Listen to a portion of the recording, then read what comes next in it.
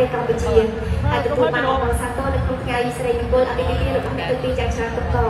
ជាជាក់ថាវត្តមានលោកអ្នកមានគុណក៏មានទៀតពិតជាច្រើនចំគ្រប់ផ្នែករបស់គុណទៅកាន់វត្តមានភ្ញៀវកិត្តិយសដែលបានចំណាយពេលវេលាចូលរួមនៅក្នុងការប្រតិបត្តិការនេះដូច្នេះសូមអរគុណលោកទីជួយទៅការវិជាស្រីដែលត្រូវជាលោកប៉ារបស់គុណក្រុមបណ្ដាក្រុមគ្រួសារ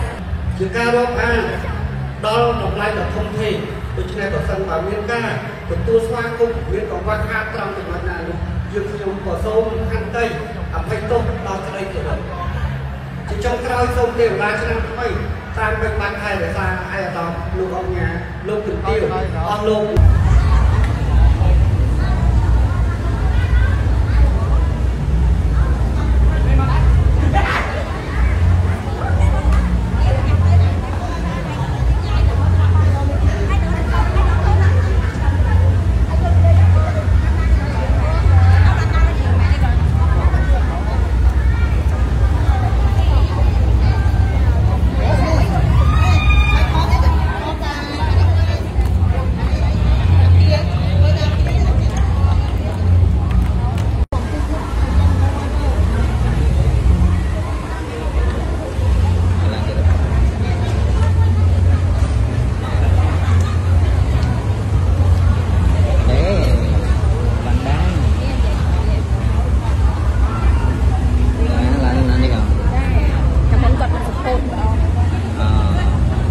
biết